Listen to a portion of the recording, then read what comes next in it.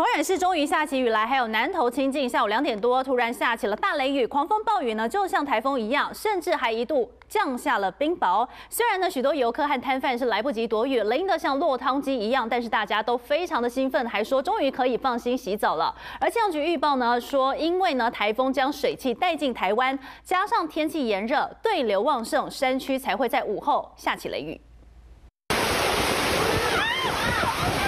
狂风暴雨就像是台风来了一样，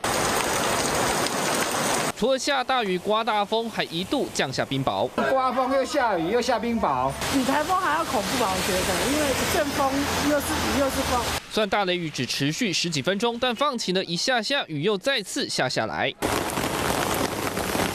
这是南投清境，下午两点多突然下起大雷雨，许多摊贩游客们来不及躲，淋得就像落汤鸡，但大家却很开心。可以放心洗澡了，两场，刚刚有一场，现在第二场雨。第一场比较大，好像台风。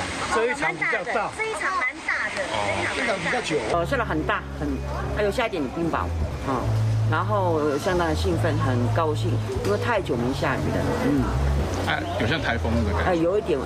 气象预报中心说，这一场雨是因为舒力基台风将水汽带进台湾，加上今天温度高，热对流旺盛，下午才会降下雷雨。预估未来几天山区都会有类似的降雨情况。不过因为雷雨来得快去得快，对水情的帮助有限，预计要等到五月梅雨季来临，持续的降雨才有可能会疏解旱象。